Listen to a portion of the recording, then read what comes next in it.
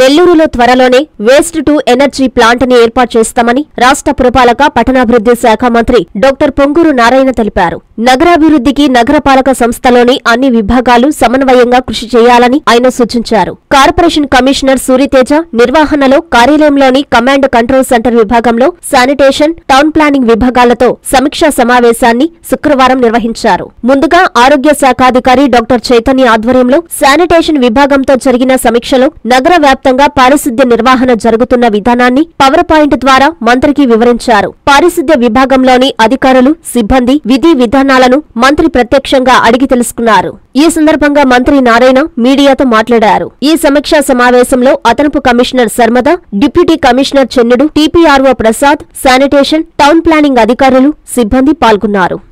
ఈరోజు నెల్లూరు మున్సిపల్ కార్పొరేషన్లో శానిటేషన్ అంటే లిక్విడ్ వేస్ట్ సాలిడ్ వేస్ట్ మీద టౌన్ ప్లానింగ్ మీద రివ్యూ జరిగింది.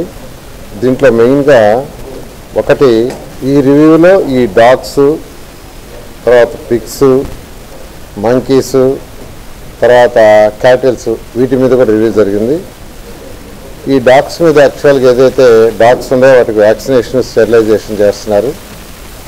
దానికి ఒక వన్ ఇయర్ టైం పడుతుందన్నారు ఉన్న బ్యాలెన్స్ వాటికి చేయడానికి అయితే నేను అధికారులకు చెప్పాను అది వీలైన తొందరలో అయ్యేటట్టుగా దానికి ఒక ప్లాన్ చేయమన్నాను. అంటే డైలీ ఒక పది చేయగలరు. అలా కాకుండా నెంబర్ పెంచి ఎర్లీగా చేసేదానికి కమిషనర్ గారికి చెప్పాను దాన్ని స్టడీ చేయమని. వాళ్ళు స్టడీ చేసి చెప్తా ఉన్నారు. అదేవిధంగా పశువులు అక్కడక్కడ రోడ్లలో పశువులు ఉంటాం. అది ట్రాఫిక్కి ఆటంకం మీకు అందరికీ తెలిసిందే. దాని మీద కూడా ఇవాళ రివ్యూ జరిగేది. గోసాల్లో వంద వరకు యాక్చువల్గా వాళ్ళు పశువులు పెట్టుకోవడానికి ప్రొవిజన్ ఉందంట. అయితే మనకు దాదాపు సిటీలో ఐదు వందల వరకు యాక్చువల్గా పశువుల్ని పంపించాల్సిన అవసరం ఉందన్నారు. రెండవది ఈ పశువులు అక్కడ పెడితే మళ్ళా మధ్యలో వదిలేస్తున్నారంట. అది కమిషనర్ గారికి చెప్పాను వదలకుండా ఏర్పాటు చేయమని. ఆ గోశాలతో మాట్లాడి యాక్చువల్గా దాన్ని ఎక్షన్ చేయటం ఎట్లా? వాళ్ళకి సపోర్ట్ మనం చేయాలా? ఎలా అనే దాని మీద నెక్స్ట్ మీటింగ్కి దాన్ని యొక్క స్టడీ చేయమన్నాను. వారు స్టడీ చేసి ఆ గోశాల ఎవరైతే మెయింటైన్ చేస్తున్నారో వాళ్ళతో కూడా డిస్కస్ చేస్తా ఉన్నారు ఎందుకంటే ఇవన్నీ చిన్న చిన్నవి పెద్ద ఖర్చు కావు. ఇటువంటి చిన్న చిన్నవి చేసిన ప్రజలకి ఇబ్బంది లేకుండా ఉంటుంది. ఫిక్స్ తీసుకుంటే దాదాపు వాటికి కొంత డిసీజ్ వచ్చి దాదాపు ఎయిటీ పర్సెంట్ వరకు చనిపోయినాయి. మిగతా కొన్ని పెనారి వారి దగ్గర యాక్చువల్గా పెట్టుకొని చేస్తున్నారన్నారు. వాళ్ళతో కూడా మాట్లాడి వాళ్ళకు కూడా ఇబ్బంది లేకుండా దానికి ఏం చేయాలో వచ్చేయమని చెప్పాను. మంకీస్ వాటికైతే ఎక్కడైతే కంప్లైంట్లు వస్తున్నాయో అక్కడ వాటిని పట్టేవాళ్ళు ఉన్నారు వాళ్ళ ద్వారా అది చేస్తున్నాం అన్నారు. అది పెద్ద సమస్య సిటీలో లేదన్నారు.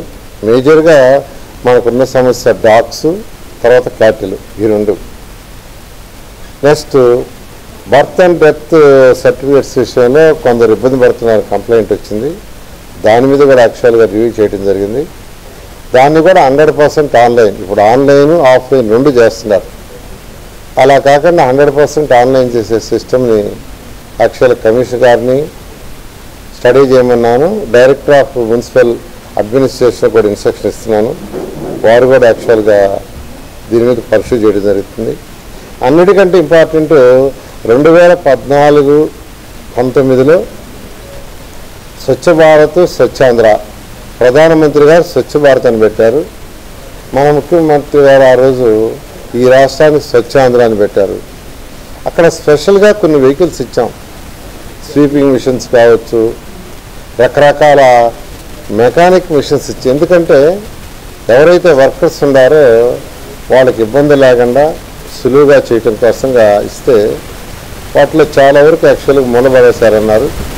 అయితే ఇంకా లేటెస్ట్ ఎక్విప్మెంట్స్ వచ్చిన్నాయి అంటే చిన్న పెద్ద డ్రైన్స్లో అయితే ప్రొక్లైన్లు జేసీబీలు పెట్టి సిడ్డు తీస్తారు చిన్న చిన్న డ్రైన్స్లో అయితే రకరకాల మిషన్స్ ఇచ్చిండాయి. అంటే సక్ చేసే మిషన్లు ఇచ్చుండాయి ప్రెషర్తో నెట్టేస్తే ఒక దగ్గరికి వస్తే తీసే తీసేయచ్చున్నాయి వీటి మీద యాక్చువల్గా స్టడీ చేయమన్నాను.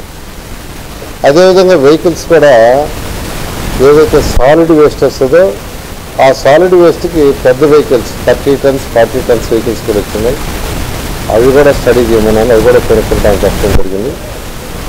అంతేకాకుండా ఏదైతే సాలిడ్ వేస్ట్ ఉందో దాన్ని అనేక దేశాల్లో నేను స్టడీ చేశాను చైనా కావచ్చు జపాన్ కావచ్చు సింగపూర్ కావచ్చు మలేషియా కావచ్చు రష్యా కావచ్చు.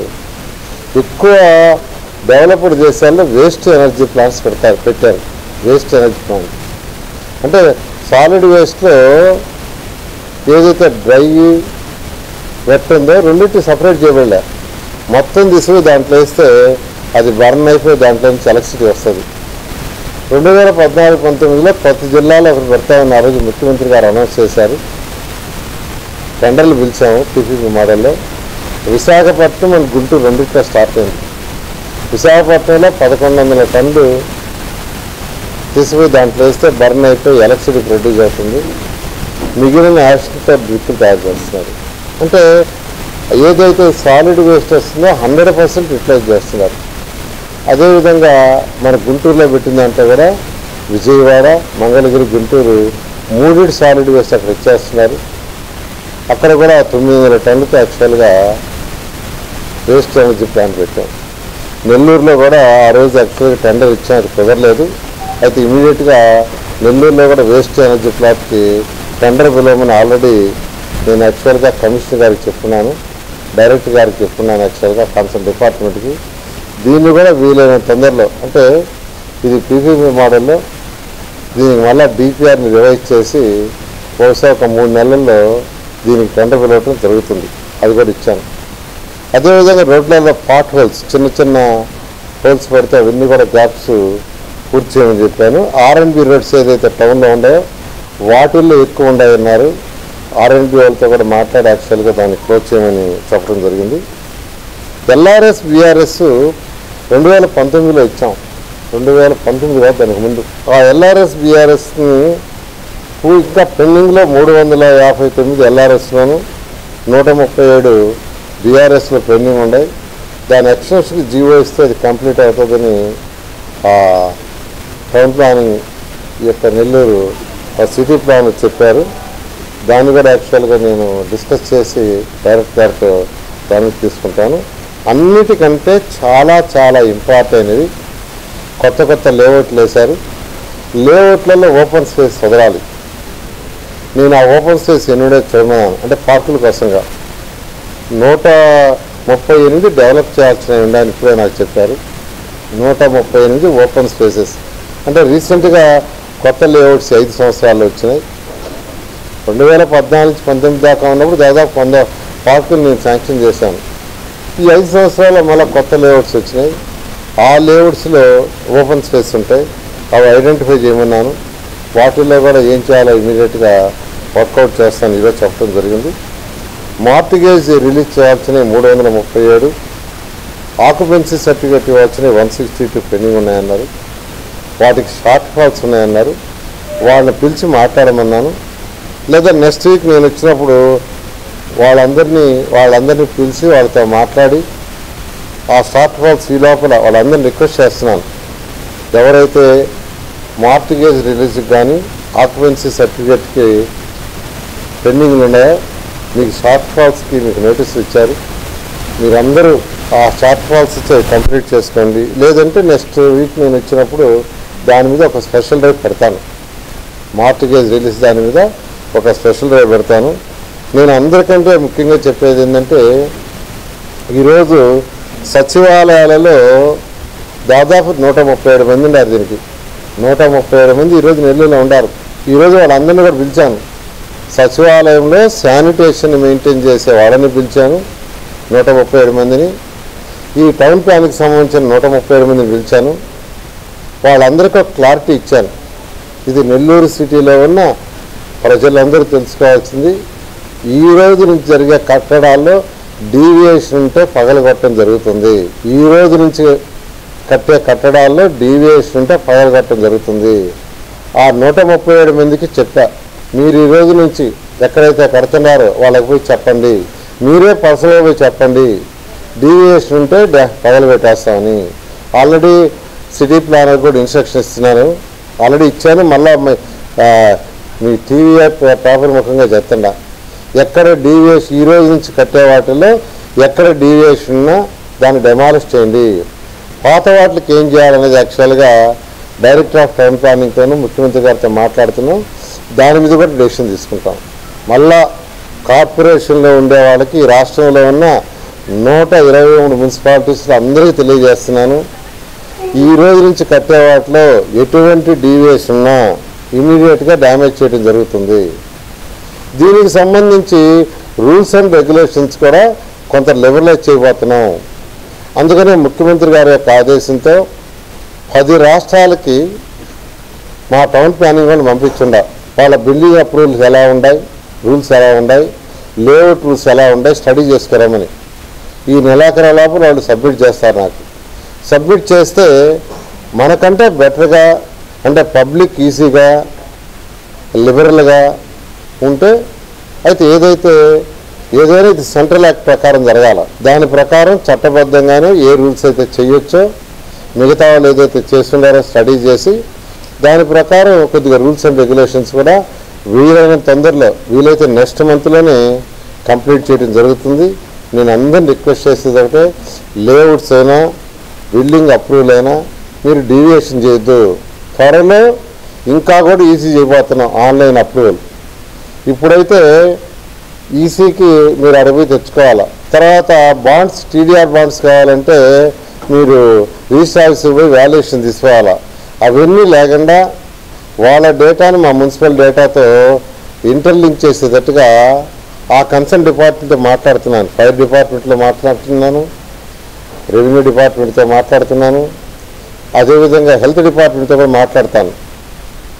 బర్త్ అండ్ డెత్ సర్టిఫికేట్స్ కూడా ఇంకా సులువు చేయడానికి వాళ్ళతో కూడా మాట్లాడి సాఫ్ట్వేర్ ఇంటిగ్రేట్ చేస్తాం టెక్నాలజీ వచ్చేసింది. అందువల్ల ప్రజలకి సులభతరంగా అయ్యేటట్టుగా రెండు వేల పద్నాలుగు పంతొమ్మిది దాకా ఫస్ట్ ఆన్లైన్ సిస్టమ్ తీసుకొచ్చింది భారతదేశంలో ఆంధ్రప్రదేశే. భారతదేశంలో ఫస్ట్ ఆన్లైన్ సిస్టమ్ తెచ్చింది ఆంధ్రప్రదేశ్. తర్వాత అనేక రాష్ట్రాలు చేశాయి. అదేవిధంగా ఇప్పుడు ఈ టర్మ్లో కూడా ఇంకా కొన్ని సిస్టమ్స్ డెవలప్ చేయదలుచుకున్నాం సులభతరం చేయదలుచుకున్నాం నేను ఒకటే అందరినీ రిక్వెస్ట్ చేసేది మీరు డీవియేషన్ చేయొద్దు. డీవియేషన్ చేయడం కట్టుకోండి. వీలైనంత మీరు అప్లై చేస్తే క్షణాల్లో మీకు వచ్చేటట్టుగా చేస్తాము ప్లాన్ అప్రూవల్స్. అందువల్ల నేను అందరినీ రాష్ట్రంలో ఉన్న ప్రజలందరినీ ఒకటే నేను రిక్వెస్ట్ చేసేది డీవియేషన్స్ లాగానే కట్టుకోండి. ఎంతవరకు అయితే పర్మిషన్ ఉండేదో దాని వరకు పోమని రిక్వెస్ట్ చేస్తున్నాను థ్యాంక్ యూ నారాయణ మాతృసేవా పథకం అమ్మతనానికి కమ్మనైన పథకం.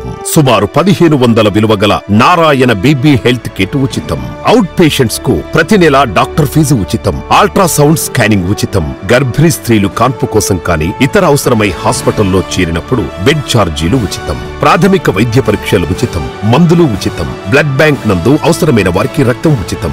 ఐదు నుండి తొమ్మిది నెలల గర్భిణీలకు ప్రతి నెల చెకప్ సమయంలో ఉచిత డ్రై ఫ్రూట్ బాక్స్ మరియు వేరుశెనగ చిక్కీలు ఉచితంగా ఇవ్వబడును. బిడ్డ పోషణ నిమిత్తం తల్లికి మూడు వేల రూపాయల నగదు అందించబడును. కాన్పు కోసం అంబులెన్స్ ఉచిత పికప్ సదుపాయం కలదు నెల్లూరు నగర పరిధిలో. నారాయణ మాతృసేవా పథకం నెల్లూరు.